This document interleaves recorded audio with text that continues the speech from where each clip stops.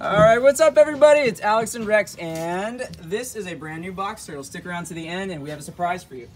I have some puns. Are you ready, Rex? I'm ready. All right, Always tortoise ready. puns. Here we go. What do you get when you mix a tortoise with a porcupine? I don't know. What do you get? A slowpoke. Hey, Ah, maybe bada boom, the bada boom. All right, one. Wait, hold him steady. I can see him. Okay, go ahead. Where do you find a tortoise with no legs? In the ocean.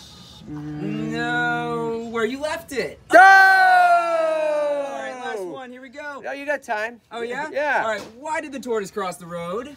To to become the chicken. To get to the shell station. Oh! All right. Bada This boom. might be the last one. All right. Yeah, What do you- last one. What do you call it when a tortoise has balance issues?